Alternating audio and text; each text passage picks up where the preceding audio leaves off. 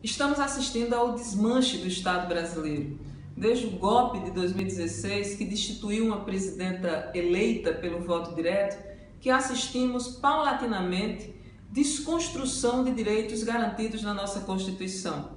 Reforma da Previdência, reforma trabalhista, reforma do ensino médio, congelamento de investimentos em políticas públicas e isso necessita de uma reação. O nosso povo não foi feito para assistir, foi feito para construir história.